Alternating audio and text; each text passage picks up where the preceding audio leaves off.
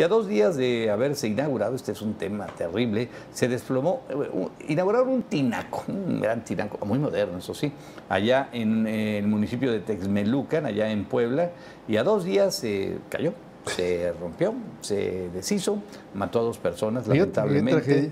Y bueno, esto ocasionó que la alcaldesa de ese lugar, que fue a visitar el accidente, saliera por piernas, la querían linchar. La apedrada, la agarraron apedrada. Oye, son pueblos, perdóname, pero son pueblitos, traen suburbonas, suburbonas negras, así poderosas.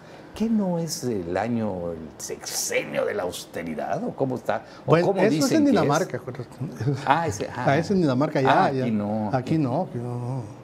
Pero no, te ves eso y dices, ¿y qué ole? ¿Y la, la austeridad republicana dónde, Deja dónde tú, la pobreza franciscana, era para que llegaran en bicicleta como en Holanda. Mm, se me hace mucho bicicleta. se me hace, eh, bueno, y sus guaraches y su atuendo franciscano, ¿no?